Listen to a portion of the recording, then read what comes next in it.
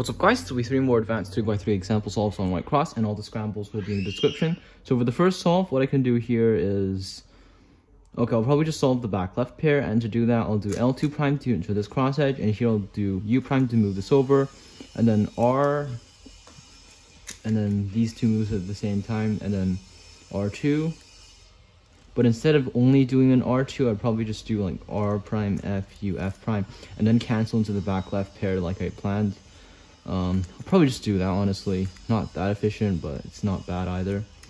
And then here, insert this pair, and then here I have this pair. Then finally, this pair, I'll probably just do the solution, which gives me all my edges. Here, I'll just do back Sune, A perm, double flick uh, for the AUF. And here, what do I, uh, what I have here is, okay, can do another multi-slot here. So we'll do L prime to, not multi-slot, free pair. L prime, F, and then R to into these three cross edges, and then here I'll do D2U, F prime, I mean F, and then D prime, R, U to R prime to insert this first pair, like that, and then next I'll just probably just rotate and solve this pair.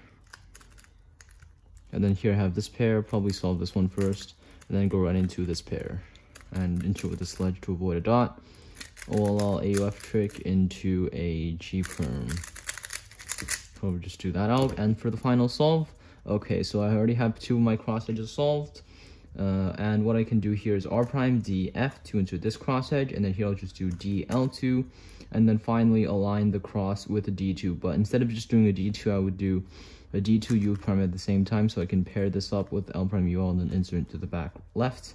And then here I can just go right into solving this pair, so pair it up and then insert and then here I'll go right into this pair, pair it up and insert, and then solve this pair with LU, um, OL, and PL.